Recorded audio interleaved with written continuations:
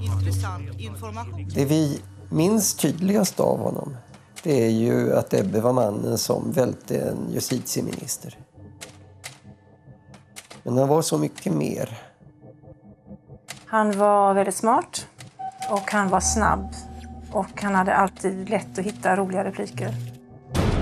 Han var en person som man eh, antingen tyckte mycket om eller också inte tyckte om alls. Han var ju en tragisk människa, objektivt.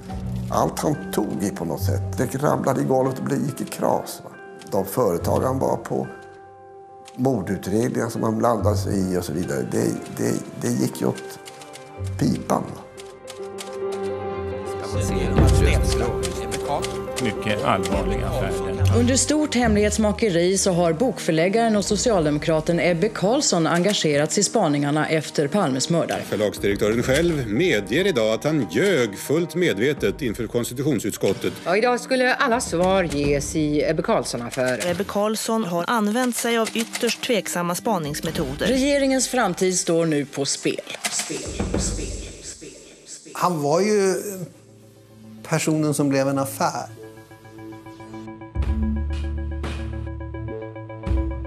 Ebbe Carlsson hinner med flera karriärer under sitt 44-åriga liv. Journalist, politisk tjänsteman, bokförläggare. Han utnämns till årets svensk av Rapport. Han är ett socialt geni. Alltid är han socialdemokrat. Ebbe är partiets skyddande ängel.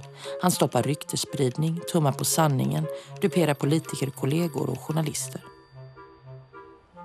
Ebbe är alltid där när det händer. När det händer är det ibland för Ebbe varit där. Du ska veta hut när du är här. Punkt. Sanna historier om Ebbe Carlsson verkar fabulerade. Falska historier låter mer rimliga. En del hävdar att han var nära vän Olof Palme. Andra säger tvärt emot. En del säger att han var en dålig människa. För andra var Ebbe deras bästa, trogna vän.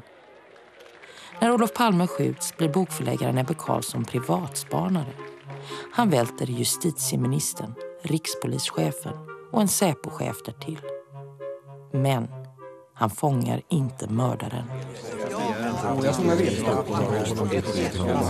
Men du har ju sagt Anna-Greta Leijon att du var inblandad på ett eller annat sätt. Den formuleringen är korrekt, ja. Ångrar du vad du har gjort nu när du ser vilka konsekvenser det har fått?